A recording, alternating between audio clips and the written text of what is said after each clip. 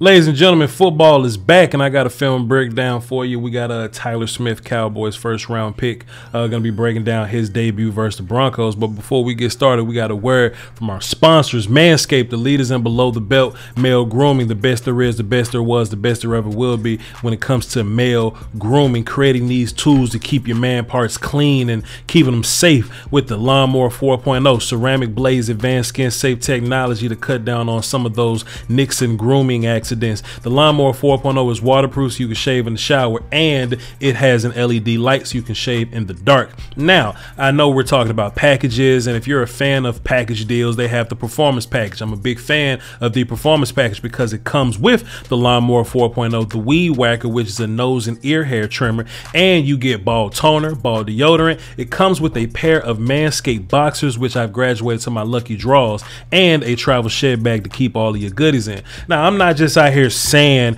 that this stuff is good just because Manscaped is holding us down on the channel, just because they supporting us. I've been using Manscaped products for a year and a half now and no complaints, God damn it. Hey, let's do this. I want to save y'all some money. Go to manscaped.com. I want you to get everything over there. Just put everything in your shopping cart performance pack. Just buy six or seven lawnmowers and pass them out, right? And then at checkout, I want you to use promo code VOCH20, V O C H 20, VOCH20 for 20% off and free shipping. And Manscaped ships international, so be sure to check that out.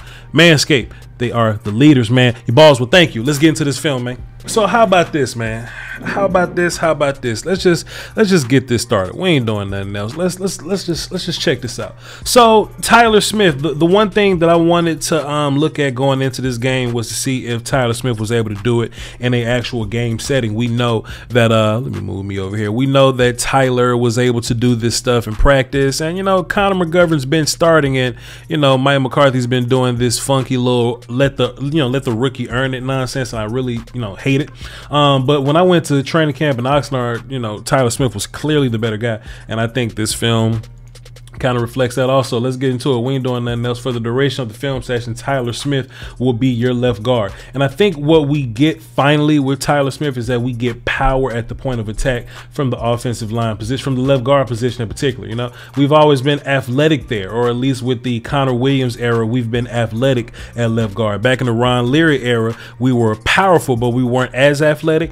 I think Tyler Smith, and Tyler really proved this to me. He because he showed me not only his power, but he showed me his athleticism athleticism and his movement ability, you know, this game, right? And I'm gonna show you some of that film later.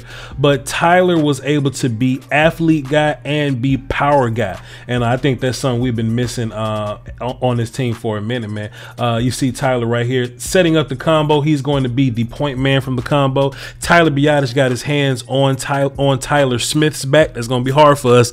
We got two Tylers and a Tyron and two Smiths. We got to be careful with that. So Biadasz has his hand on Tyler Smith uh, back or whatever, just preparing just in case the combo is there. But Biadasz has his eyes on the linebacker there. But basically, this is a one-on-one block between Tyler Smith and um, the uh, down tackle there, and we just get movement, ladies and gentlemen. And look, I was kind of mad at Rico Dowdle here because if Rico, first of all, let me just also give props to take a look at your right tackle, Terence Steele. This is a phenomenal block on this three tech right here. Uh, number 78, your right tackle, uh, Terence Steele. Phenomenal block right there, right? And if you're Rico Dowdle, all you got to do is keep this thing front side. Front side meaning if the play is going left, then the left side is your front side. Look, if you just keep this thing going here, Josh Ball is engaged with 56. Uh, Tyler Smith is going to take care of 92. Biadasz at some point is going to move up to next level to block 50. Let me just move this forward just a little bit more. Bro, Rico, where you going? what you looking at, Trent Richardson? You know what I mean? But it is what it is. We're here to break down uh, Tyler Smith, though. Rico eventually cut this thing back and ran into a lot of trouble, but good block from your rookie the Cowboys threw the ball a lot, and what I thought was super important was for us to see Pat, uh, Tyler Smith in pass protection. Right? Uh, we know that he was a you know physical mauler you know type guy, but what's he gonna look like in these in these pass pro situations, man? And look, there was nothing that none of these kids on the Broncos D line uh, were able to do with Tyler Smith physically. Uh, let me just show you another example of his uh, of his pass pro here.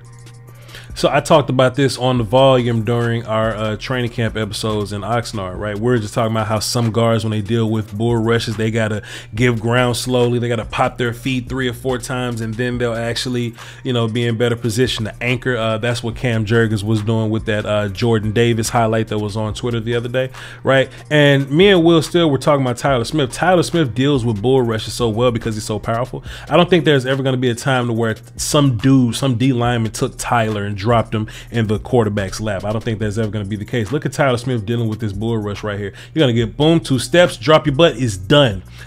Done. That is erasing a bull rush, ladies and gentlemen.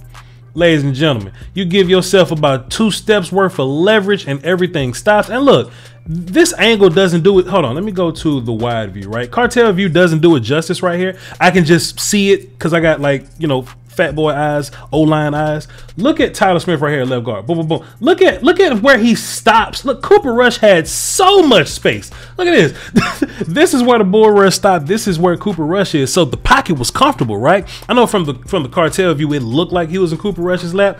Look at where he at. look, look at where he at, man. Tyler Smith is is going to be, you know, such a day and night example of what we got from Connor Williams. And this ain't even me, you know, poo pooing on Connor Williams there, because Connor Williams is my son. Tyler Smith, my new son, though, man. I, I got new kids I'm proud of. Moving on couple more things that I wanted to highlight, right? Um, there's different types of technique. There's technique like within the physical act of blocking, you know, like where to put your hands, where to do this, where to do that. Then there's scheme techniques, right? Like how to deal with a D line problem, techniques to kind of handle that, right? So when um, Tyler was in Tulsa, he wasn't great at dealing with stunts or games or gap exchanges, right? He would get so caught up in his wrestling match and whoever the point guy was, Tyler Smith would just end up going with that point guy and not really, you know, being patient enough to deal with the gap exchange. Take a look at your left guard right here, man. We, we ain't doing nothing else, bro. Let's just look at your left guard, bro. Him and him and uh him and what's his face here. We ain't gonna say his name, but him and what's his face is just. Uh, look at Tyler Smith. Now we're only focused on Tyler Smith because look, you know, Josh did kind of let his man's get through, and Cooper Rush did get the ball batted down. But let's just slowly walk through this, right? This is going to be Tyler and Josh Ball versus these two outside characters, right? Can I see my mouse? Yeah, versus these these two outside characters right here, right? We're gonna get to this point. Everybody's even now. It's still one for one and two for two, right? No problems here. But what we're gonna get is we see the outside guy, the defensive end, this character right here. We see him start to um, start to loop over, and Tyler Smith notices this because the the tackle in front of him kind of slants over hard to Josh Josh's right hip a little bit. Tyler notices that. So Tyler's going to push this tackle into Josh, right? Boom, like so. But then Tyler gets his eyes up. This is the best part about it. He didn't do this at Tulsa. Tyler gets his eyes up to find the loop guy. And then he pounds that post foot back inside. And then he goes to pick up his man right there. That's fantastic job by Tyler Smith. Was that a good job by Josh Ball? No.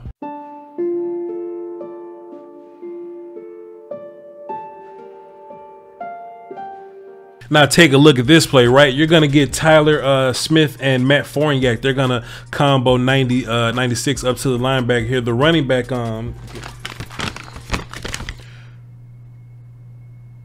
Aaron Champagne. Champagne. Shambodia. Uh, the running back is going to read this uh, this uh, combo block perfectly here, right? Take a look at this. Boom, boom, boom. A field, a field. Cut it. Get between Tyler. Oh.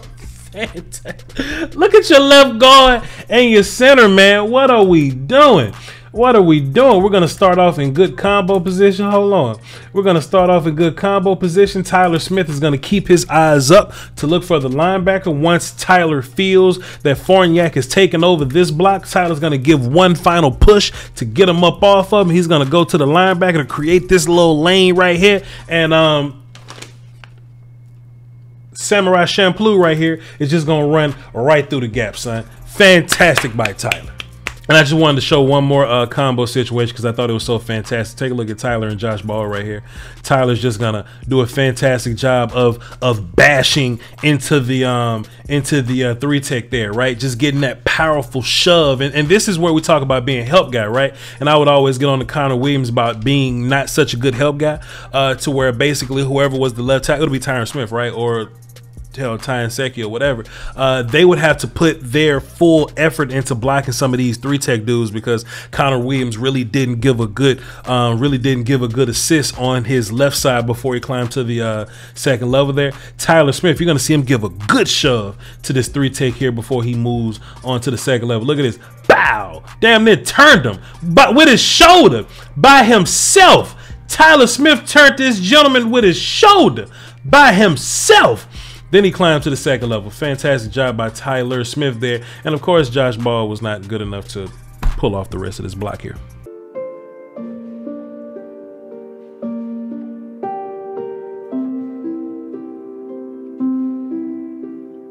Now, of course, there's this play that's um that Cowboy Nation is kind of talking about here. Tyler Smith uh, had a little bit of a blunder, um, or, or at least that's what was said. This was on the Cooper Rush interception. I'll just go ahead and play it, and we'll come back and talk about it.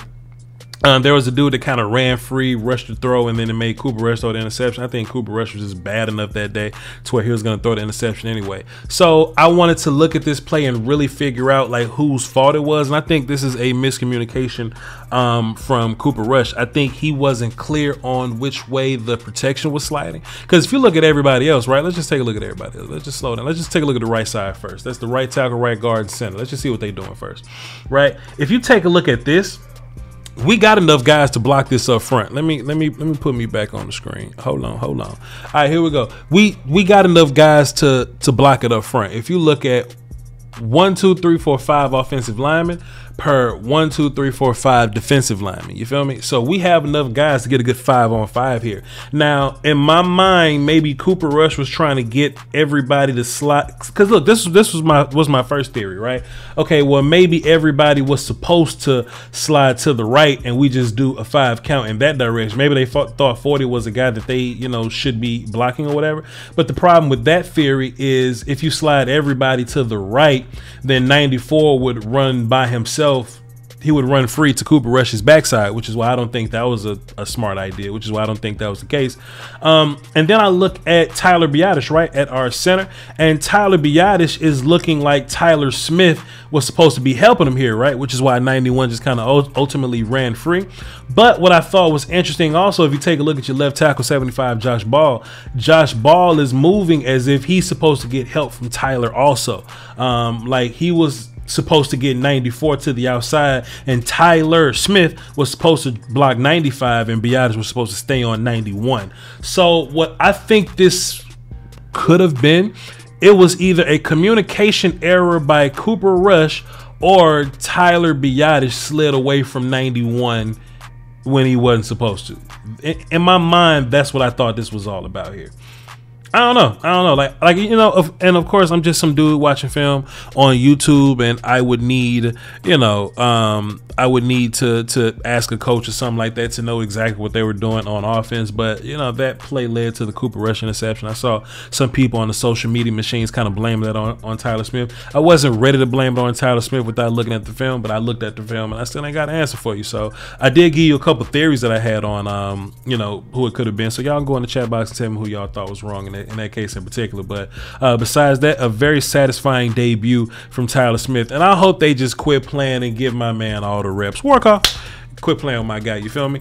Uh, but we'll cross that road whenever we get there. I think it's only a matter of time. I think Tyler's gonna have another good game. You know, maybe next week, then week after that, then it's gonna be regular season for him. I hope he doesn't run into a wall or nothing like that, like a rookie wall and nothing. But that typically doesn't happen for like offensive linemen. Like our job's a little different. That's more so like a defender's thing.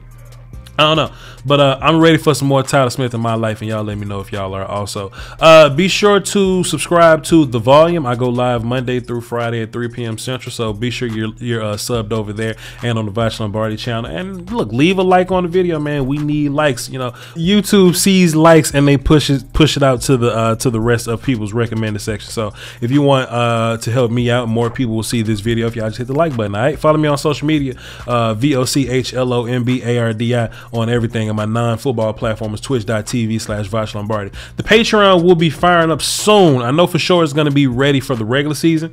Um, we're gonna be, you know, doing the film breakdowns in there like we did, uh, like we did last year, and like we did for the draft. So, uh, if y'all want a uh, part of that when uh, September 11th versus Tampa Bay come around, or September It'll probably be 13 by the time I get the film to watch it or whatever. But we will be watching film weekly in the uh, Patreon, so be sure to get into that. Get back into that if you, you know, whatever, whatever. Uh, with that being said, uh, that's all we got for y'all today. Y'all hold it down for the Doski Wilson and Peasky and I'll see y'all tomorrow on the volume at 3 p.m. Central to break down what happened, uh, you know, over the uh, preseason game with Will Steele. Appreciate y'all, man. Volume.